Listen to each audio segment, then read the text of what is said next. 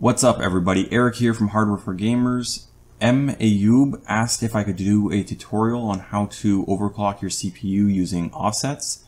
So this is actually pretty good timing. I was planning, uh, I gave my daughter the Aorus M motherboard, the B450 Aorus M that is, uh, and I haven't actually overclocked it yet, so I can actually take you guys through the process on how I actually overclock a CPU. Now the first thing I do is I run a test to tax the CPU, so I'm looking for temperatures, the actual voltage that the auto profile is using, uh, and to do this I use hardware monitor.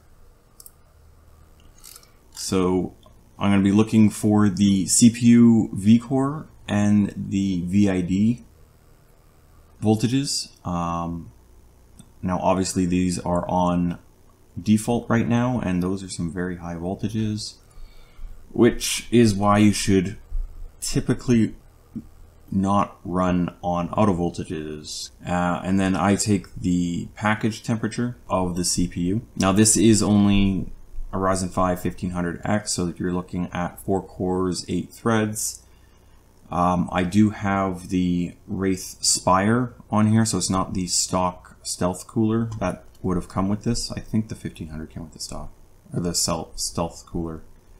Uh, but anyways, I do have the Wraith Spire cooler on here. Uh, so temperature should be pretty good. I'm not going to be doing a, a, huge overclock. I'm probably just going to be looking at like a 3.9 gigahertz overclock. But first, we just want to figure out the temperatures. So I'm going to run this and then take a look at the temperatures after the fact. So I'll speed everything up, so don't worry.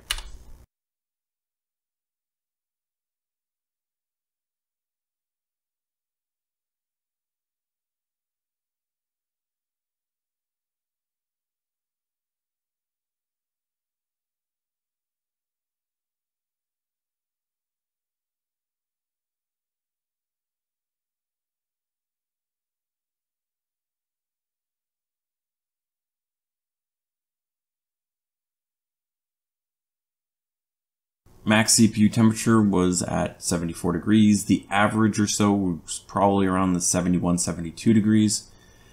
Um, the voltages were in around the 1.28 or so, uh, which now are just jumping around chaotically. Yeah. Okay, so what I'm going to do now is restart the computer, which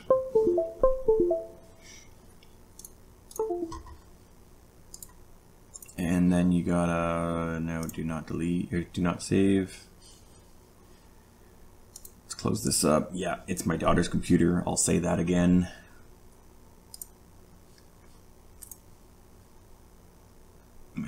Restart. And then smash that delete button. Here we are in the UEFI and let's I guess start overclocking. Uh, so on this motherboard, this is the way it's set up anyway. So depending on what motherboard you have, it's going to be slightly different, but the concept of offset overclocking is still going to be universal.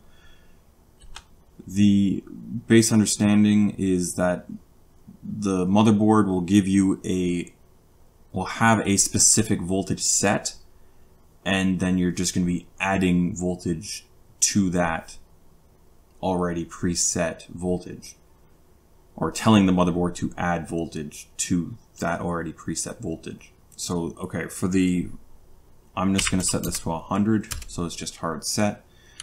Uh, I'm going to overclock to 3.8 gigahertz, uh, so a multiplier of 38, because uh, I was looking at some of my old testing and the amount of voltage it takes for this chip to get to 3.9 gigahertz is just a little more than I'm willing to put in for an everyday overclock. Uh, so let's go to advanced setting, uh, advanced CPU settings. So the core clock is already set there. Performance boost. If you're overclocking, you should probably uh, make sure that's disabled if there is one. Cool and quiet I keep on. Uh, I don't think it's really going to make too much of a difference. And then everything else here, that's just set to auto. It's auto or disabled, so keep SMT on auto. I'm not really sure on how that, I would just would think it would be enabled or disabled, but that's how this motherboard sees it.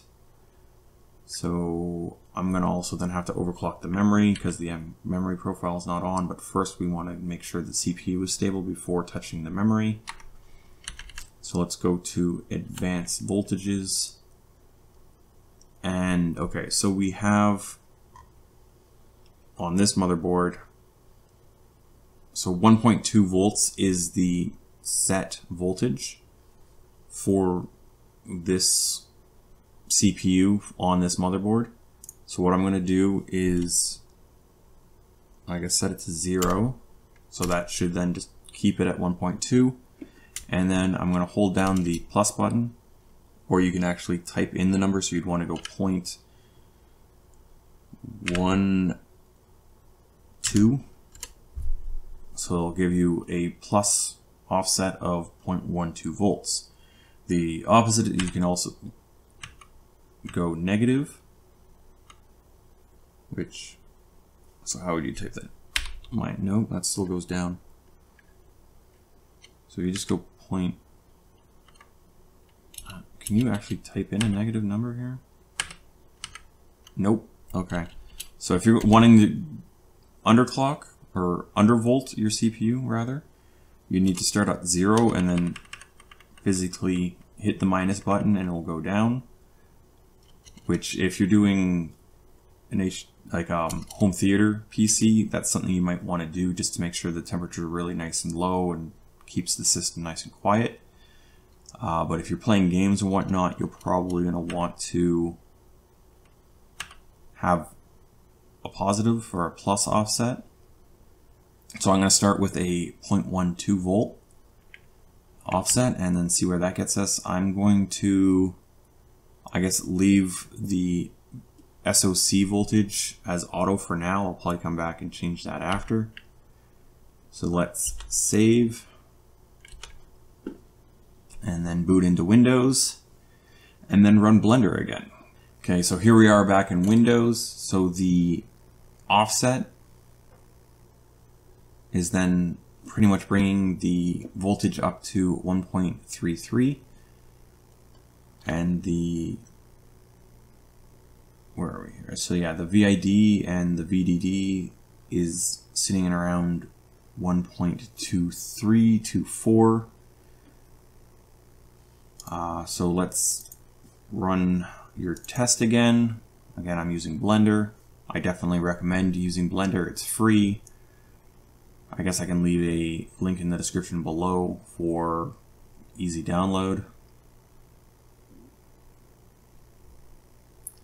So I'm going to run this again and see if it's stable. If it finishes, you should be pretty good on your overclock. So if you go to run the test and it crashes very quickly, you might want to actually put up the voltage like two or three points. But again, that's pretty much all this is, is just playing with it up until you can actually get through the test.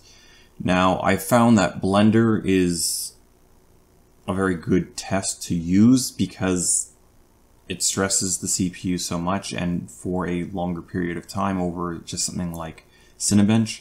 Cinebench is like a 2-3 minute test. This is, for this CPU, like a 20-22 minute test. Gives you a much higher chance of finding an error. You can also use AIDA64. I have found that if, like I've ran tests for like 24 hours on AIDA64, but then I run something in Blender and Blender crashes after like three, four minutes. So I do find that Blender is a better stability test, uh, at least for Ryzen processors and for memory, certainly for memory. So that's pretty much how you overclock using offset. It's the basic process is exactly the same as actually putting in a number uh, it's just that you don't actually get to put in a number. The base number is set, and then you're just trying to add a little bit of voltage to that. Um, all in all, it's a much more straightforward way of doing things. So if this is your first time overclocking, it might be a decent way of doing it. Most motherboards have the option. You can either do an over uh, an offset based off of a set voltage, or you can just set in your voltage if you know what you want to use.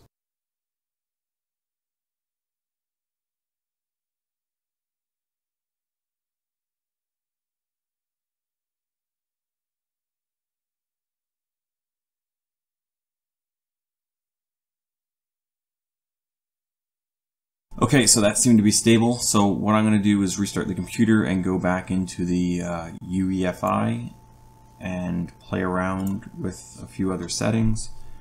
Uh, I noticed that the exhaust fan is spinning incredibly slowly there, so I'm not sure what's going on there. So I'm going to take a look at that as well. And I think I'm going to leave the voltages the way they are, and I'm going to start playing with the memory.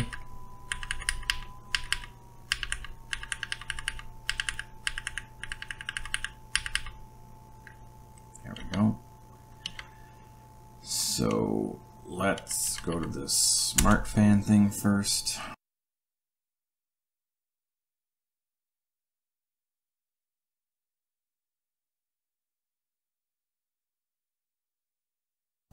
Exit and save and then just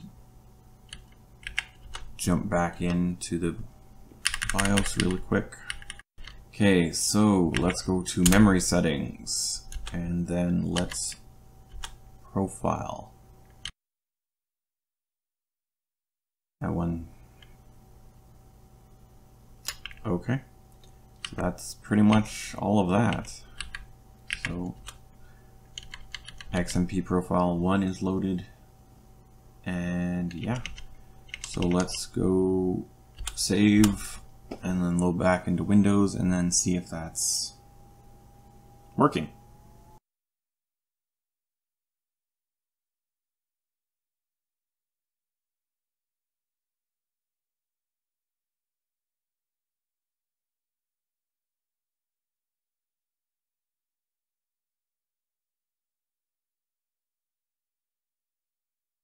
So I think that's pretty much all I got to say.